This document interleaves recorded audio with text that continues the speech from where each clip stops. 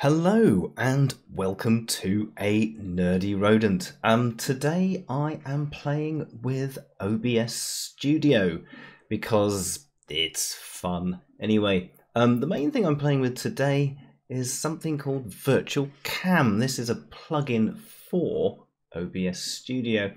Now, you've probably seen many a time when somebody does a display capture. They add it, the screen goes like that, and you get this whole hall of mirrors effect, and it's I think it looks really cool. So what I'm doing is that, but using the virtual camera instead, so that you don't capture the entire screen, you just capture the particular things that you want. So, for example, I've already got two example media sources in here. I've got an example flag and an example strawberry. Now, using the virtual camera up here, uh, one small problem I've found when using this was that uh, when the virtual camera is stopped, the CPU usage actually goes through the roof. So I stop it, and my CPU usage will climb until my computer burns in a pile of molten lava. So um, I always keep this auto started, uh, and the other tick box is the keep aspect ratio. Anyway, um, so that basically automatically starts this virtual camera, and it's called OBS camera. Fantastic.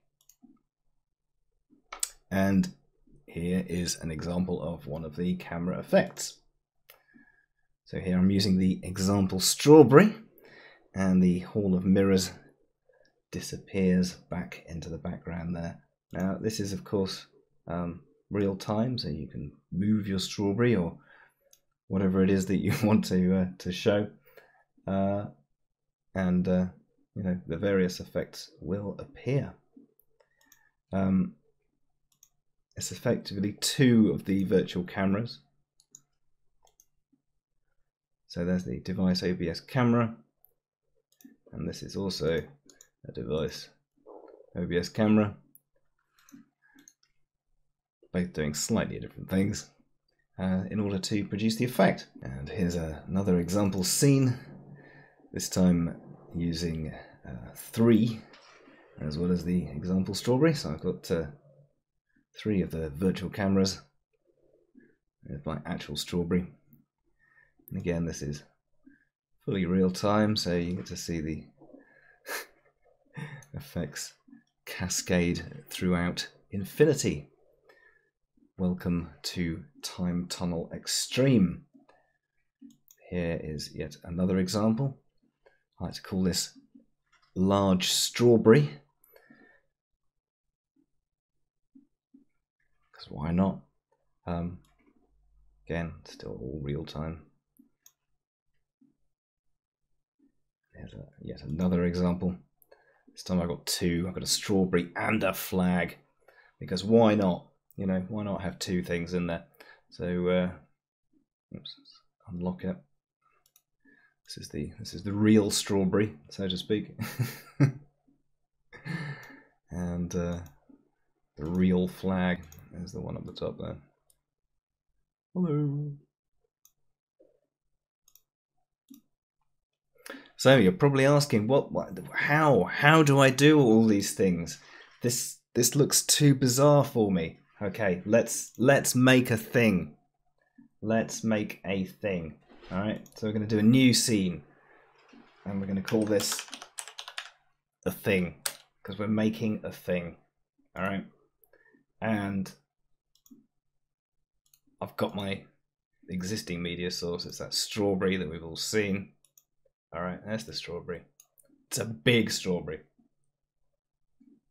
First of all, we will just have one strawberry purely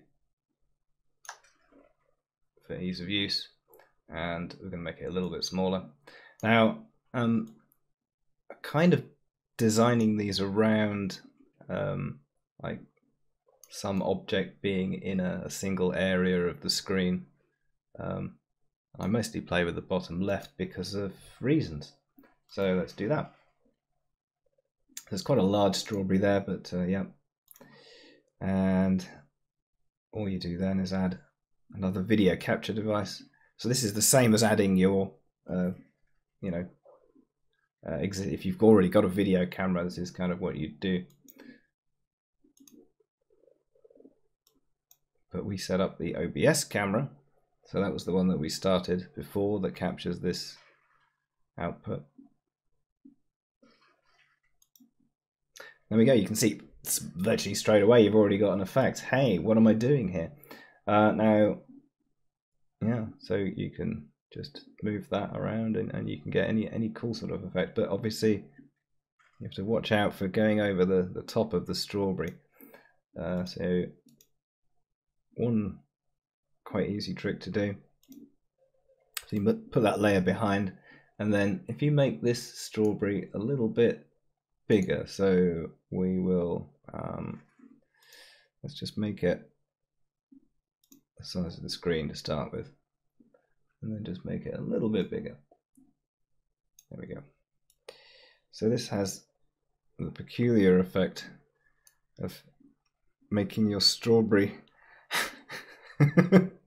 expand into the infinite depths of the OBS mirror world. So uh, depending on, on where you put your uh, your transformed strawberry, you will get this myriad of uh, rather interesting effects. Um, if you can position things sort of different ways, you know, you can line them up. It depends. It really depends on what your input is as to, um, you know, how you want it to look. And that's so that's just a basic size transform, and uh, and there you go. Um, we'll just lock him down. We'll keep the source the same. Now, the other thing I like to do is add uh, color correction because this has hue shift. So if I do something like um, change the saturation a little bit, put that up, and also a bit of a hue shift, there we go. Let's say about there. Yeah. Yeah, that's pretty cool. Now, you can also basically just stack on as many effects as you like now now green i see all the anytime i see green i i have this sort of automatic urge to chroma key it out. I don't know why. It, it's just i have to. I have to. Anyway there we go. Um, so that is um, you know basically how you do any of these effects. Um, now when you start doing transformations, um, it's probably quite fun to start playing with the rotations too. So say I throw this in at like 33 degrees. Everything's disappeared, but there's my strawberry. There he is. There's my strawberry. There we go. And so that's that's how you get this curling cascade into time. And obviously, depending on where you position it, that's that's how much curling you're going to get. Transform, let it transform. You can go the other way as well. Let's do it at minus 45 degrees. Let's put the strawberry in there. There we go. we get a sort of tunnel of strawberries. can uh, Move the strawberry into the middle for ease. There we go. Then you get a sort of bizarre infinite tunnel of strawberries. And uh, yeah, there's there's no limit to the uh, the number of video capture devices um, you can put on.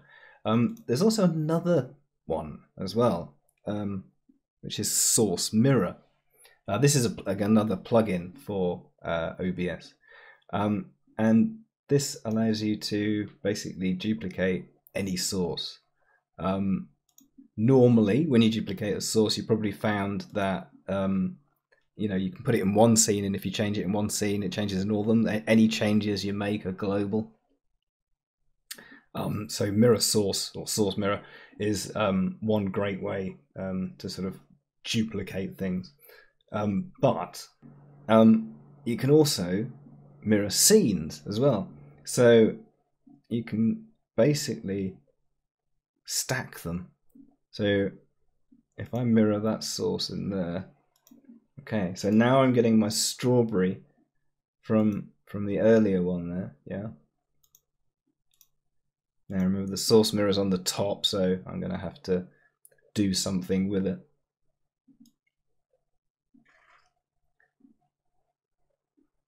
Whee! Let's make it a little bit smaller. And we want to try not to cover too much of where that's coming out. So if we flip him that way, there we go, somewhere around there.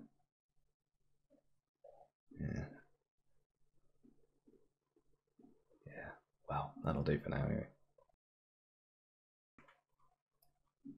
You get the idea. So, um, yeah, you can add as many mirrors or um, source cam uh, video capture devices as you want, and um, you get a, a, million cool effects. My little strawberry, let's move him in real time, see what happens. Oh, there's too many things. Too many things.